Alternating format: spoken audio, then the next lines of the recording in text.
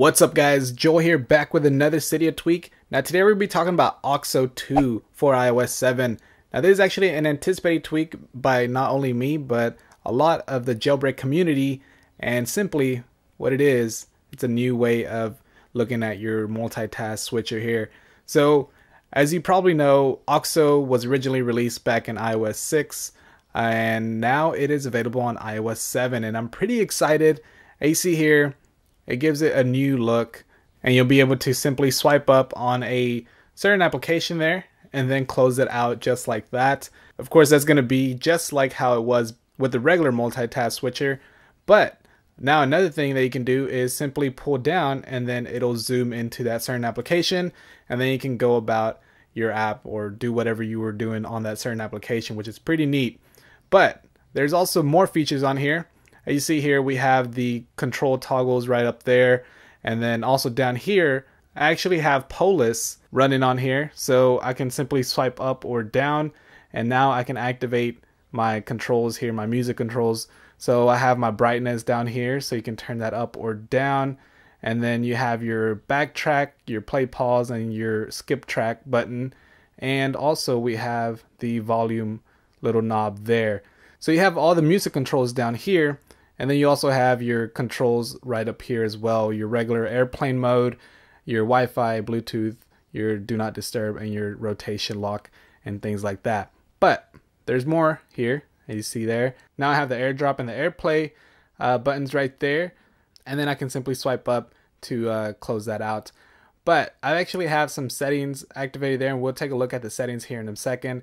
But let me show you some more features on Auxo 2. Now something else that's pretty awesome is when you slide up right here on your home screen, you will be able to simply close out all the applications by just pressing one little button and that is close all apps, which is pretty cool. Now taking a look at the settings here, we have multi-center, quick switcher, and hot corners. So we have kill switches on all of these. Now multi-center is simply when you slide up from the middle of the screen and then you activate your multi-switcher here. But if we go ahead and turn that off, if you simply slide from the bottom up, once again, you activate control center. But now going down here, you do see that we have quick switcher. Now what quick switcher is, if you simply slide from the left corner, you will be able to slide through different applications that you have open just like this. So it's very, very smooth and nice. Now, if we disable quick switcher, you'll simply enable the multi-center once again. Now I'm gonna go ahead and leave that on. And then down here we have hot corners. So what this is, it allows you to return to the home screen by simply swiping up on the right part of the screen as you see right here. So you simply swipe up from the bottom and then it returns to the home screen. But now going back into the settings, we have advanced options here. So with advanced options, what you'll be able to do is uh, you can turn on and off the minimal display. So I had that turned on right now. So what that basically means is when you have it turned off, it shows the airdrop and the airplay icons right up there. But when you have it on, you do have options to always have it on, or if no media is playing, if AirPlay is undetected, or if AirDrop is off. So when that is turned on, you see that when I go ahead and swipe from the middle, that those toggles are actually off, or those buttons right there. But I can still access those by swiping down on the toggles right there, and then close them out by simply swiping up. So it's very well designed. I really like that. But now if we go down here, you can go to open to last app. So what that means is when you swipe up, it'll go to the last app that you had open as far as the task which it goes. So if I had, uh, for instance, let's go to my Facebook page. Go ahead and follow me on that if you're not following me yet, JBTech17. But if I swipe up, you see that it goes to the last open page or the last opened app, I should say. Now, if we go down here to Quick Launcher, you can set different settings when no media is playing. You can have it to display. So what that is, is if I go down here, normally the buttons that we have here, the applications, the quick launcher applications, these will be displayed. And you see here, I actually have a tweak that I covered recently called Polus. This is compatible with it because it's from the same developers, A3 Tweaks. But I have six different quick launcher apps down here, and that automatically shows when there's no media playing right now. I can put it to do not display. So when I swipe up, I'll go to my music controls and my knobs here. And I can do auto dismiss. So what that does is uh, in three seconds, it'll actually dismiss it by itself. as you see there, and then go to my controls. So you have the options to do that here down here.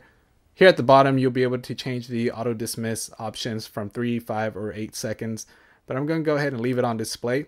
Now when media is playing, I can do auto dismiss, do not display, or display. Now going down here to the bottom, we have unlimited quick switcher. So what that is, is I have it activated right now.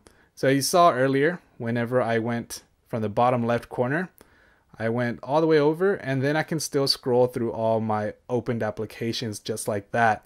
So that is what unlimited quick switcher is because if you have it off, when you go over to the far right, you can only access the last six applications that you see here. And then going down here, we have invert hot corner. So what that is, is to access the app switcher from the right corner and the home screen from the left corner. So basically, if I swipe from the bottom left, it'll go to my home screen. And then if I go from the bottom right, it's gonna go ahead and go to multi-center as see there. Now down here the disabled applications, you can disable whichever apps you don't want to access uh, Auxo 2. So for instance, if you're on Twitter. Uh, when you have Twitter open, it, you won't be able to access Auxo 2. So that is if you like, of course. And you can also disable the keyboard, or with the keyboard, I should say. Now there is a couple more features for Auxo 2. Now let me show you real quick. So right now I'm playing a song, and whenever I have that song playing, I'll be able to simply tap on the artist and uh, song name right there at the bottom, and you see there it pops up with the album artwork, which is pretty neat. Shout out to Lou from Unbox Therapy for featuring me in one of his latest videos that should be up pretty soon. Fanboy Rap music video. Catch it very soon. That was pretty fun. But anyways, besides the point, uh, going back to Auxo 2, you see there, if you simply tap on there, you'll be able to activate the album artwork. And if you tap and hold, it'll open up to the application that the music is playing from. Now also, what you can do is if you do close out all the applications just like this, it doesn't close the app that is playing music at that current moment. So uh, that is pretty cool. Now, when you are playing some music, like for instance, the music app or even Spotify, and you go ahead and activate Auxo 2, you do get a scrubber down here, so you'll be able to scrub through the tracks as well. So you don't lose any controls of your music. So again, you can simply tap and hold on here and then uh, it'll go to that certain application or you can just simply tap on it once and then it'll show the album artwork which is pretty dope looking. But other than that guys that's gonna do it for Auxo 2 let me know in the comment section below what you think about this tweak. I think this is probably one of the best tweaks on ios 7 for sure without a doubt. I really loved the original Auxo and shout out to a3 tweaks which is a collaboration of sentry and also Qusic so go ahead and give them a shout on Twitter. Here is their Twitters. Uh, go ahead and follow them and tell them that they did a dope job on Auxo 2. But other than that, guys, let me know what you think in the comment section below. As always, hit that thumbs up if you did like this video. Not only helps me, but it supports the channel as well. And if you're not following me yet on any of my social networks like Facebook, Twitter, Google+, or Instagram, all the links will be down below in the description. So go ahead and follow me on those for future updates.